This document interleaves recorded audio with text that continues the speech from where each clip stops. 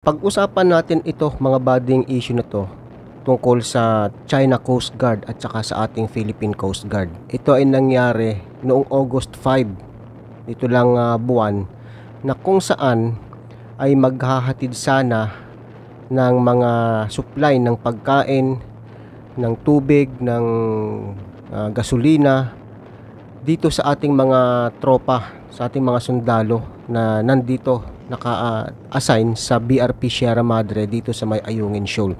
So naging trending ang mga issue to mga buddy. At uh, dito nabasa ko nga sa Facebook page ng Philippine Coast Guard yung naging kaganapan.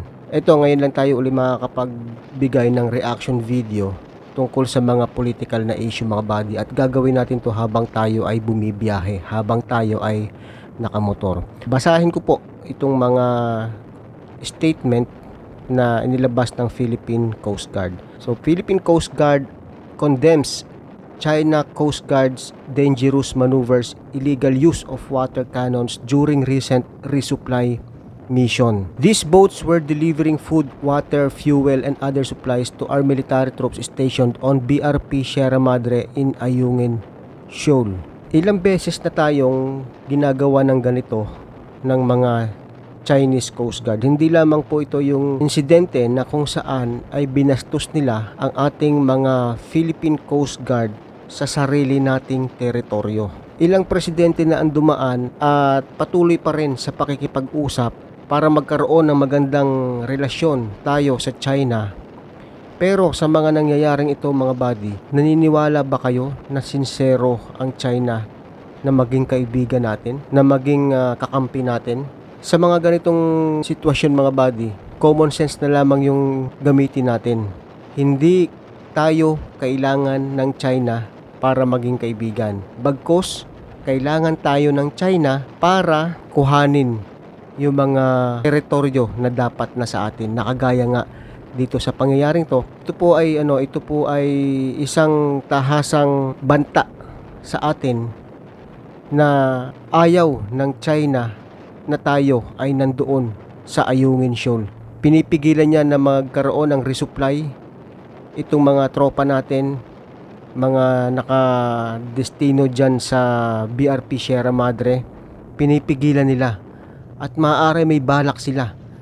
Papaano na lamang kung dumating yung araw na hindi na lang water cannon ang ibuga sa ating mga tropa? Papaano kung dumating yung panahon na totoong kanyon na ang gamitin nila sa ating mga tropa ng Philippine Coast Guard.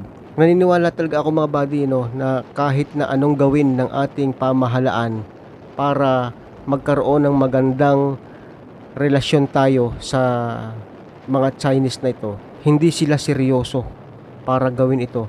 At bagkus, sasakupin nila at sasakupin yung mga teritoryo sa paligid ng ating bansa upang magkaroon sila ng advantage. Yun lang po yung aking pinaniniwalaan dito mga buddy. Nakakalungkot to na balita. Pero sana po umaksyon po ang ating gobyerno, ang gobyerno na pinamamahalaan ni Pangulong Bongbong Marcos na wag po tayong magpauto dito sa mga Chinese na to. Alam natin na hindi tayo pwede makipagsabayan sa pakikidigma sa China pero ipaglaban po natin itong karapatan ng ating mga kasundaluhan ipaglaban po natin itong karapatan ng mga mangingisda dyan sa paligid na yan na maaapektuhan kung sakali man na magkaroon ng pang-aagaw ng teritoryo itong mga Chinese na ito.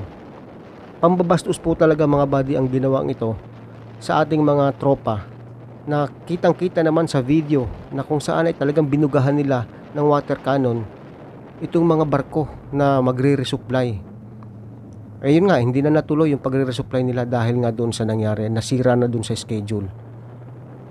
Ano ang gusto nilang iparating dito? Warning ito mga buddy para sa atin na hindi nyo pwedeng kuhanin itong teritoryo na to. Amin to. Ganun lang yung nakikita ko dito. Paano kung dumating sa sa punto nga na hindi na tubig ang ibuga sa ating mga tropa Imposible naman na itong mga China Coast Guard na to ay hindi nasasabihan ng kanilang ano ng kanilang ah, leader. Siguro naman itong mga ito ay may basbas din ng kanilang leader. Imposibleng wala mga body. Eh kapag bumibisita ang ating presidente sa China, napakaganda ng pakitungo. Akala mo tanggap na tanggap ang mga Pilipino. Nangyayari itong mga pambabastos na ito ng China Coast Guard. So hanggang saan ang mararating ng mga usaping ito? Hindi na natin dito tatalakayin pa kung ano man yung mga UNCLOS na yan o yung tinatawag na United Nations Conventions on the Law of the Sea. Pero ang talagang nangyayari dito ay pambabastos ng China at naniniwala ako, uulitin ko, na hindi sila sincero sa pakikipagkaibigan sa Pilipinas dahil kung sila tumuturing sa ating bansa bilang isang kaibigan, hindi nila ito gagawin sa ating Philippine Coast Guard. Hindi nila ito babastusin hindi nila ito bubugahan ng tubig. Yun lang mga buddy ang aking opinion dito bilang isang Pilipino.